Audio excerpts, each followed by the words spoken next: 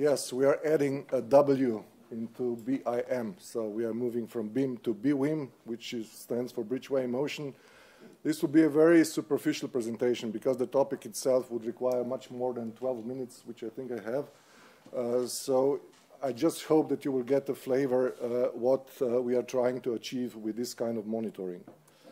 Uh, this is the short outline. So first about the difference between bridge assessment and bridge design, uh, then what is bridgeway motion, how do we use it uh, to measure bridge performance indicators, and I will uh, finish my talk with some examples and case studies.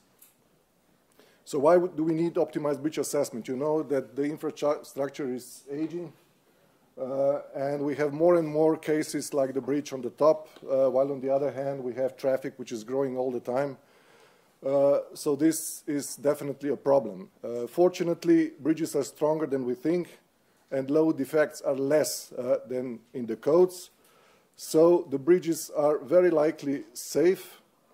Uh, the problem is how to prove uh, that they are safe. so basically, how we show that the resistance of the bridge is higher than the load effects. I will not talk about bridge capacity. I will just point out the problem about the older, the old bridge stock. This is an example of Slovenia. We have 2,500 bridges on the national road network, and this is distribution of their age. The problem is that all the codes, and we have used eight since 1904, uh, have different loading schemes included. And only the last two, the one which is based on the Eurocode and the one which was based on the former German code, are appropriate for today's loading.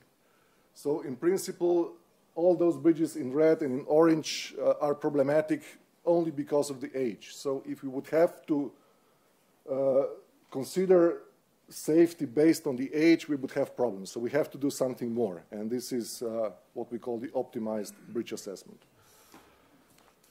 Uh, just the reminder what is the big difference between design and assessment. Uh, you all know, and I assume that there are more designers in this room uh, than assessors of bridges, is that the new bridges shall be designed conservatively, uh, mainly due to all uncertainties uh, about increasing loading and about dec decreasing capacity. So if this is a typical truck which was used when the average bridge in Slovenia was built, and this is something which we see today. This is something which is coming. Uh, it's only a few years away. Not to mention that some countries are using even much heavier trucks. We have a problem. So we have to deal with that. Fortunately, we can do measurements. And uh, because the assessment should be optimal as much as we can, we should not use the design information. We should try to collect the real information. And Lucky for us, capacity and loading can be measured and monitored, and I will try to demonstrate how to do that with WIM, way motion, or bridgeway motion. So what is bridgeway motion? Uh, if we want to know the traffic loading, we have to weigh the traffic. We prob you probably all know traffic counters, but they are useless because they only give you numbers of trucks. They don't give you any, any information about the traffic loading itself. So the, about axle loads, about the axle spacings, which is needed to convert loads into load effects. So bridgeway motion or BWIM, now you see the difference in one letter, is a measuring system that uses an existing instrumented road or, or rail structure, so this can be a bridge or a shorter culvert, to weigh vehicles in motion at normal highway speed. So you have information about the weight, about the axle loads of every vehicle that crosses uh, the measuring point. It's based on strain measurement. Uh, the principles are pretty old, but they were not very successful at the beginning. Uh, so the big progress was done in the 90s when uh, we were involved into two European projects, uh, which resulted in a, what we call now SiWIM way motion system, uh, which is quite popular now around the world with 2,500 plus installation in 25 plus countries. It's based on strain measurements, so you see the strain sensors here, uh, two typical uh, bridges, beam and, uh, beam and slab, or slab bridges. Uh, I said based on strain measurements, The advantages are, compared to some other technologies available, that uh, the system is completely portable. So you can detach entire instrumentation and you move it on another bridge. It's hardly accurate because of the length of the scale compared to some other scales that are built into the pavement. You don't interrupt the traffic, which is a very big issue when you perform measurements on existing structures because everything is underneath and provide structural information, which is basically the point of my talk.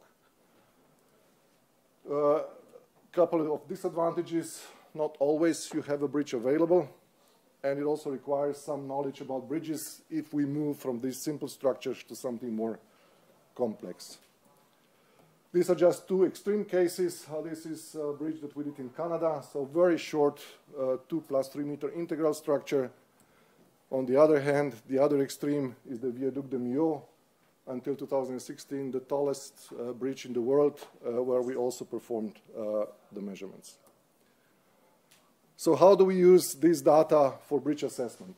Uh, there are actually five parameters that improve structural analysis and can be obtained from uh, these systems.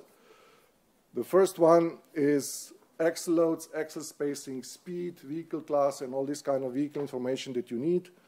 Uh, but this can be obtained also from any other weigh motion system. So for those who have sensors built into the pavement, which is the alternative uh, technology. But we can also measure four structural parameters which we only obtain with BridgeWIM. The first one are the strain records themselves, because, as I said, the measurement is based on strains. We can measure influence lines, so we're not talking about the theoretical influence lines, but about the true measured influence lines. We can measure distribution of traffic loading over structural members, the so-called uh, girder distribution factor, as it is uh, included in some codes. And we can also measure the dynamic loading. And I will now shortly, in five minutes, explain how this can be done. The first one, and it's probably the key one, is the influence line. In particular, the old bridges behave quite differently to what we think they behave. This is an example uh, of an influence line calculated from 500 influence lines calculated from the random vehicles that cross the bridge. We have included into our bridge BridgeWIM system a module which calculates bridge influence line from every vehicle that crosses the structure. This can be then uh, statistically evaluated. You see the average value is the blue line. You have one standard deviation, the, gray, the, the gray lines. So you see that uh, the procedure is quite robust. So influence line is the key for calculating the weights. And this slide will demonstrate how this is done. This is just a measured bridge response from a five-axle truck. The first thing we have to do is to measure the, the axle spacings. So we see that this is 1, 2, 2 configuration of a truck. And if we know uh, the influence line, then we know that uh, the same strain can be modeled uh, with, uh, by adding together the contributions of uh, influence lines times the axle loads. And with the iteration process, we can get back the axle loads if we have the correct influence line, which I explained on the slide before. Uh, if we have this and we minimize those two, uh, we can basically get back the axle loads. And also we can uh, subtract the dynamic uh, portion of the signal, which will come in a, the next slides. So how does this work in practice? These were measurements that we did in New Jersey in the United States two years ago uh, on a bridge which can't be more simply supported than this. Uh, you, you, will agree with that when you see this, this steel hinge. So the influence line uh, should look something like this. In reality, was something like this. So when you update the model, which is the, the key goal to update the structural model, you can see that in this case, the bending moments are approximately 70% only of the theoretical ones. This was a very mild case to say so. In the extreme cases, it can go much lower. So in my uh, experience, the lowest that we measured was only 44% of the theoretical simply supported uh, bending moments. When we have the axle loads, we have to model uh, the, the, load effects uh, for the long-term load effects. So we are interested in the extreme cases. I have no time to go into details. There are a number of procedures how to do that, how to extrapolate the measured uh, load effects into the future. uh, into the low uh, time periods that we are interested in. So this is one parameter which is key for the assessment.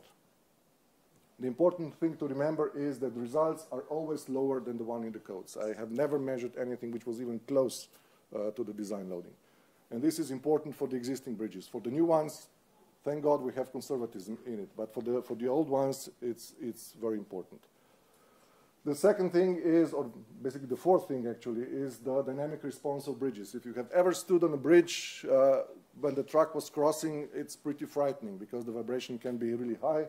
So these are some of those examples. Single trucks on the bridge, very high dynamic amplification factor. But if the loading goes up, so this is a heavy seven-axle truck, or on the bottom 11-axle special transport, you can see the dynamics is basically vanishing. This can be seen in the next diagram, which uh, compiles the results of uh, BWIM measurements, which again compiles this dynamic amplification factor for every crossing, every event that happens on the bridge. And you can clearly see with lower strains, these dynamic amplification factors are high, which is what you feel when you have a single truck on it. But when it goes to the right, so the higher, uh, the heavier vehicles, more vehicles at the same time, dynamics goes down.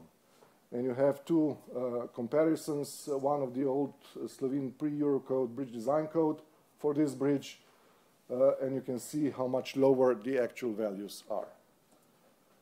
And the last one, you can do similar things with the load distribution factors. You have so many sensors on the bridge that you can evaluate statistically the responses on every measured point, and you get true load distribution, which you can use then in your model calibration. So I will conclude this uh, with uh, uh, some examples uh, so if we calculate safety, so we, turn around the limit state formula and uh, we use the rating factor equation, which is quite popular in some codes, this should clearly be more than one. And when we perform measurements, uh, we have real traffic load information, which means that DAF value and live load effects are lower. Uh, also, the dead load effect is lower because we applied the true influence line which all means uh, that the measure of safety, which in this case is the rating factor, uh, will increase. I should finish, I guess, or I have one minute more? One minute more. One minute. Okay, just a short case study. We did 154 uh, assessments of bridges in the last 15 years. First, we started with initial assessment, so with the available data, and then only in the second stage, we perform advanced assessment with the measurements that I've just described and the results are quite important to understand what is going on. From those 154, 118 were already proven safe, safe for existing traffic conditions after initial assessment, an additional 23 uh, when we performed the measurements that I've just described. Only 13 of them required severe actions like posting, strengthening, and replacement. This basically means around 10 times saving in rehabilitation costs, and which is even more important, uh, you should be aware, I'm sure you are aware, that indirect costs would typically be at least twice, if not three, four times higher than the direct costs. So conclusions is basically repetition, so if we have to save time, I will say thank you. Thank you very much.